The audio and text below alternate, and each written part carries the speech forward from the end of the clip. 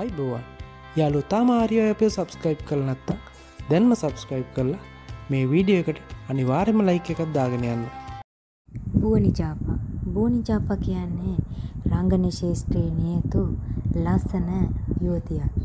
දැන් නම් ඇය වැඩිය රංගනයට දායක වන්නේ බූනිගේ ආදරණීය අක්කා තමා වස්සලා දීලගොඩ කියන්නේ.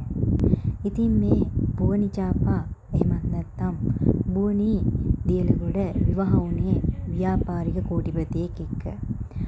ඉතින් ඔවුන් දෙදෙනාගේ දෙවන විවාහ සංවත්සරය තමා මේ ලස්සන ලස්සන ආකාරයට සමරලා තිබුණේ.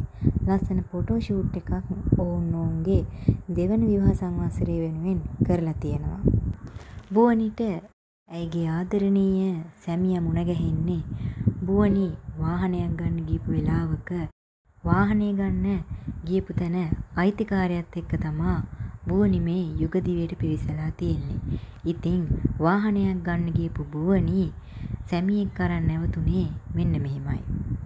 ඉතින් ඔයාලා මොකද මේ බුවනිගේ මේ කෝටිපති සැමියාගේ මේ ලස්සන ෆොටෝ ෂූට් එක ගැන දකින අදහස්.